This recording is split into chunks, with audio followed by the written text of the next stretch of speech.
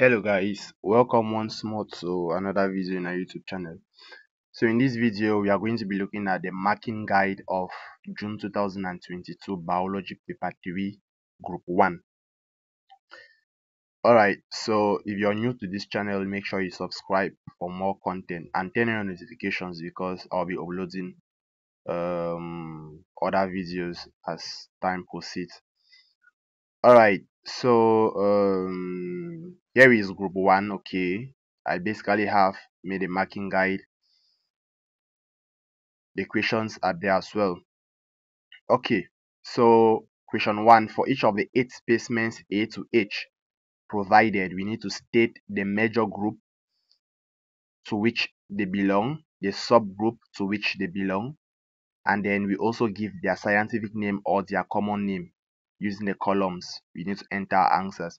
So these are basically the specimens all right these are the specimens that came in group one of 2022 so we have hibiscus flower we have the bird we have lycopodium we have the pine with cones we have nereis we have crayfish we have bean plants and we have the starfish.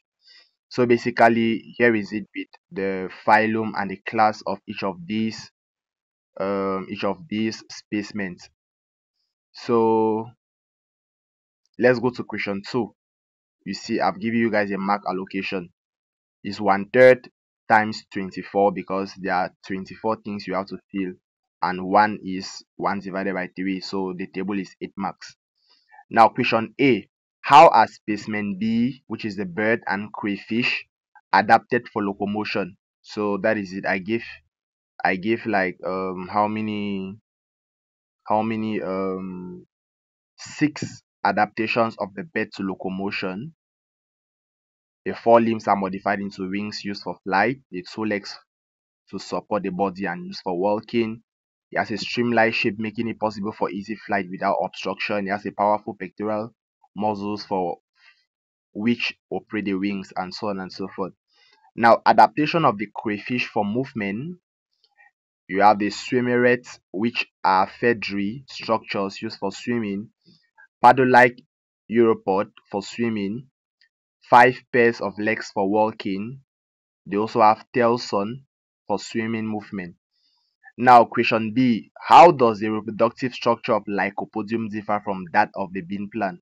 So here i'm comparing their reproductive structures the differences between their reproductive structures. So lycopodium is made up of sporan sporophylls containing spores. While that for bean plant sporophylls and spores are absent? For lycopodium the spores are dispersed by wind. For the bean plant since it's an angiosperm we have pollen grains are dispersed by insects. Now for this other guy antheridium and archegonium are present and absent in the bean plant strobili containing spores are present like lycopodium but for the bean plant we have the anthers that contains the pollen grains. Now there are no pollen grains in the bean plant but there are pollen grains in there are no pollen grains in lycopodium but there are pollen grains in the bean plant. Automatically the absence of ovary and ovules for lycopodium and present in the bean plant. All right question 2a roman 1 where will you find specimen e which is a nereis specimen f which is crayfish and h which is starfish. All of them are found in marine water all right okay now how do they feed? How do those specimens feed? So basically nereis i gave two ways of feeding.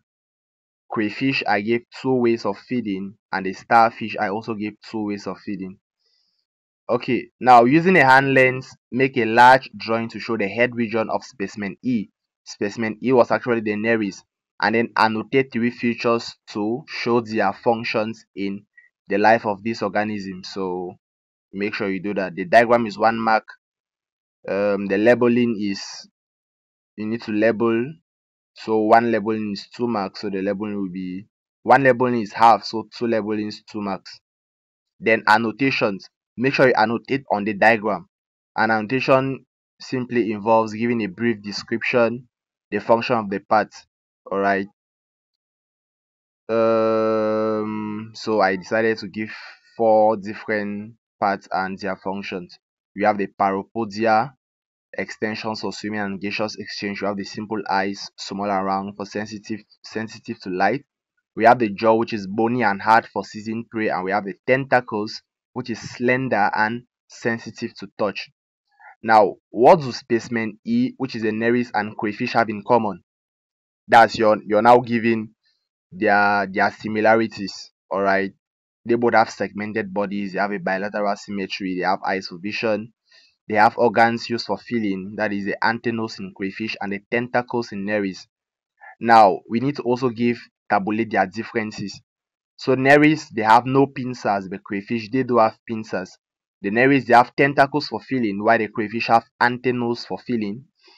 The nereis, they have um, parapodia for swimming, while crayfish have swimmerets for swimming.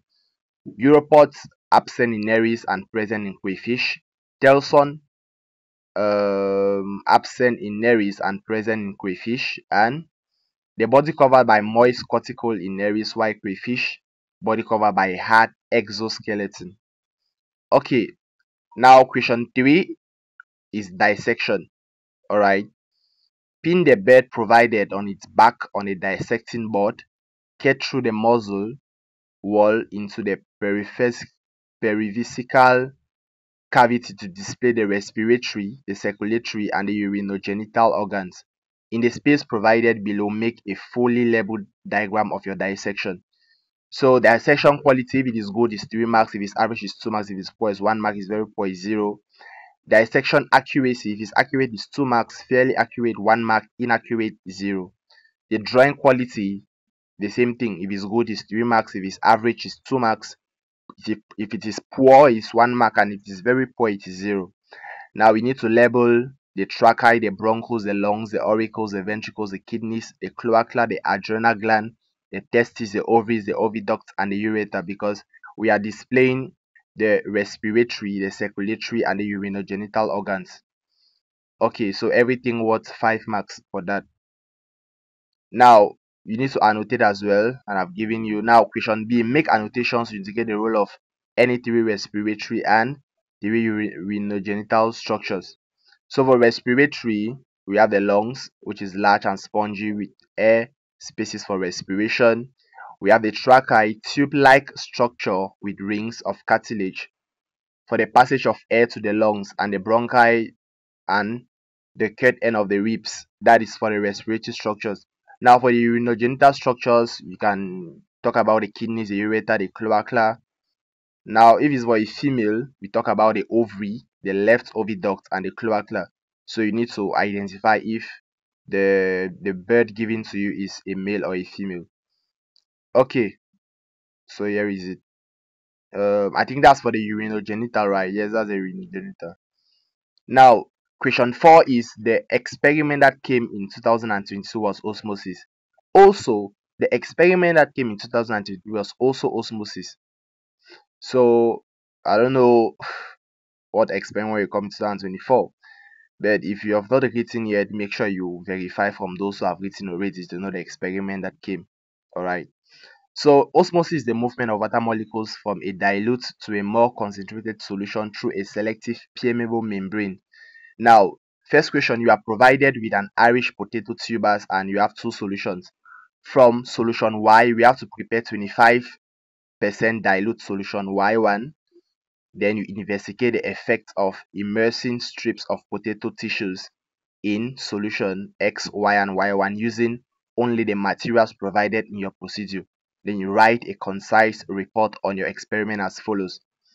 So basically, um, here's my report. First of all, we begin with the aim. The aim is to investigate the effects of solutions X, Y, and Y1 on the strips of Irish potato tissues.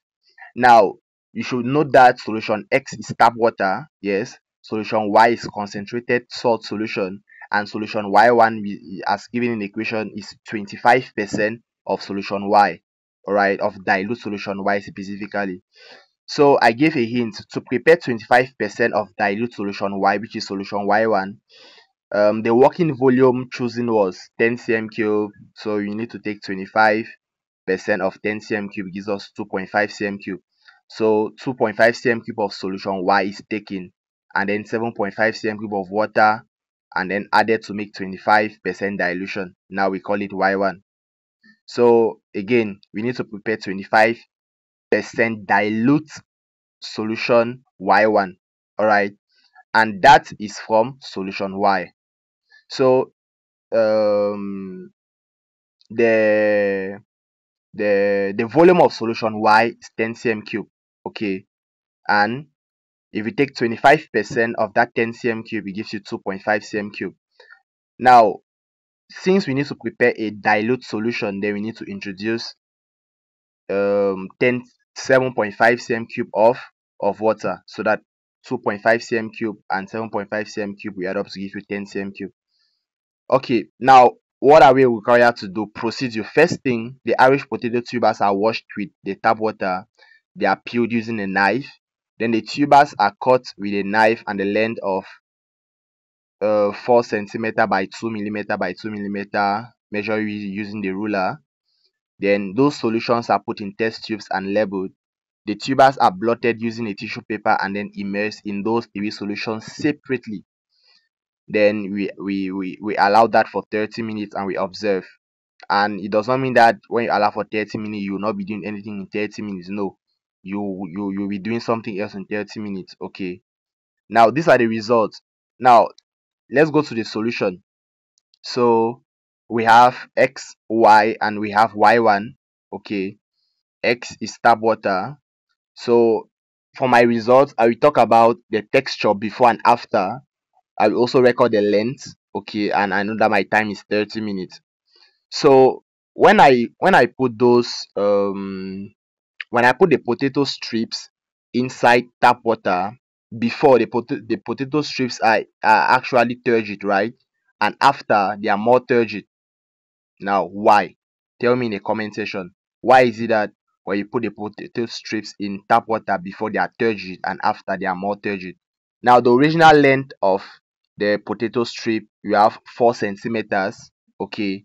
Now, the final length, we need to measure the final length after putting in tap water. So, after the 30 minutes, we use the ruler again and measure the final length. It will give us a one kind of 4.2 centimeter there's an increase in length. So the difference in length is 0.2 centimeters.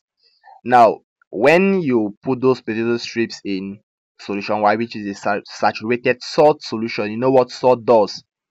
You guys know what what in fact potato itself right? Whenever you put whenever I put potato into whenever you put salt in potato the salt drags out the water Alright, so think about osmosis, movement of water molecules from somewhere to somewhere via a selective permeable membrane. So initially the potato strips are turgid, then after they become softer. That one is clear because they have loose water, right? So basically their original length will decrease. So initial length is 4 centimeters, final length is 3.8. So the difference is negative. Now, when I dilute solution Y, alright, when I in my solution Y it's a dilute solution of of my solution Y1 is 25% dilute solution of my solution Y. So the texture initially is turgid and after it is soft. Okay, it is soft because I diluted that salt solution 25% dilution.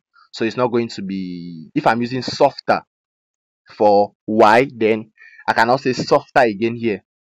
I'll say soft because the amount of water lost is not as compared to when it is just a pure saturated salt solution. So you see the final length is almost as the same as the final length of the solution Y, but this time around is 3.9 and the difference in length is negative 0.1. Alright. Now comment on the result. So clearly solution X is a hypotonic solution, water, more water molecules to the cell content of the tuber which is hypertonic, less water molecules. That's then water was therefore entering in by osmosis, thus the cell content became turgid, leading to an overall increase in length, right? Because um, this time around we are moving the, the, the originally solution X is just water. I know water is hypertonic, hypotonic, sorry. Yes, it contains more water content than the potato. So definitely that's what's going to happen.